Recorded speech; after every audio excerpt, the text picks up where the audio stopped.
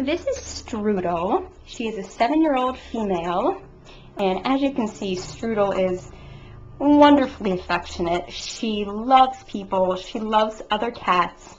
Um, she would pretty much be the perfect, perfect lap cat. So she would do great in a home with other cats, without, with kids. Um, she's just an all-around wonderful girl.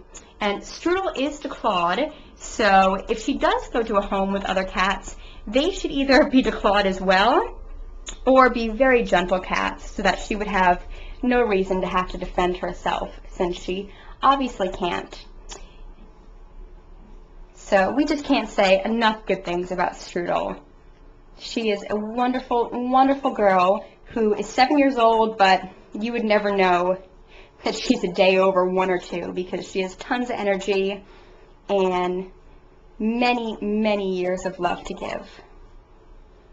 So if you would like to meet this beautiful girl in person, come down to Animal Haven and you can see if she might be the right addition to your family.